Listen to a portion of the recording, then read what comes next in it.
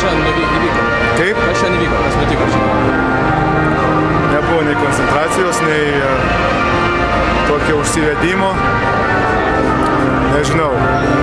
Labai gaila, kad taip gavosi tos rungtynės. Aišku, reikia toliau.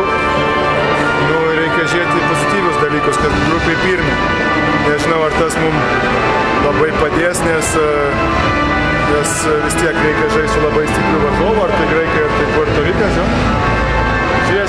Svarbiausia rūpinti savimi ir, ir mūsų žaidimu. Jisai aišku gerėja kažkiek tai, bet šiandien buvo mažas žingsniukas at- atgal, galvoju. Nors turnyrų lentelė niekas nesikeičia psichologiškai, kiek vis tiek nemalonu, ko gero, pralaimėti tokiam varžovam. Psichologiškai, ko gero, vis tiek nemalonu tokiam varžovam pralaimėti, nors... Jo, nemalonu, aplamai, žinai, ne tai, kad pralaimi yra, kad pralaimi, tai nieko tokio, nes vis tiek esi pirmas grupiai, bet kadangi tokia savijauta, žinai, ne kokia gaunasi, kad mes taip atrodom patys, nu, kad taip mes ir gimdom tuos taškus ir, ir gynyboje, kaip sakant, tą kamulį atsim gimdom irgi, nu, labai sunkiai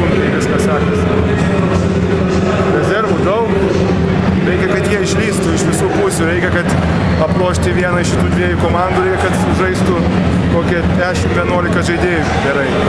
Pikta ant komandos draugų, kad ne, nebuvo susikoncentravę. Ar pikta ant komandos draugų? Taip, Pykti ant komandos draugų negali, nes ir pats ne viską gerai darai. Nu, tik tiek, kaip į žaidėjų viskas tai yra, kaip pasakyti, labiau aktualu, nes reikia sustatyti visus į savo vietas. Tai nus, daugiau pykčių, daugiau nesusipratimų, bet jų reikia, kadangi visi turi daryti tą darbą kaip vienas, nes kitaip nieko nebus.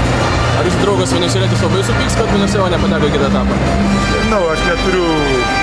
Ai, tapiko mano draugas, jis už mus serga. Sakė, jis jau čia tiek daug metų negyvena, tai jam nelabai svarbu.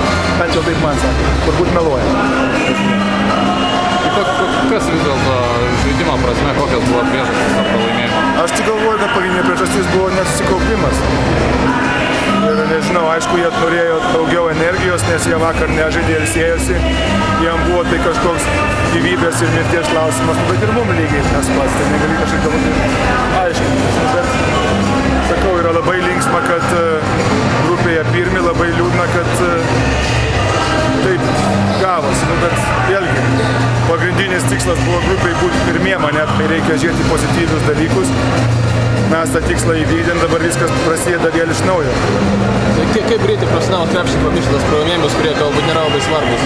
Labai greitai, jeigu tu turi atsidavimą, sus- susikoncentraciją, tai labai greitai. Mes esam gana normaliai pasiruošę, galvoju, mes nesam kažkokioj tai įspūdingoj formai, bet daug komandų nėra įspūdingoj formai, nes pavyzdžiui, mes tai dabar visi tik tai suvažiavę, mūsų žmonės paskui dar prieš savaitę tik tai prisijungė, ne? tai labai sunku yra visą situaciją, bet tai niekam nepasiaiškinsi, reikia žaisti ir galvoti dėl kelialapio.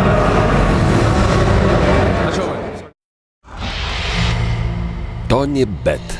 Lietuviška lažybų bendrovė.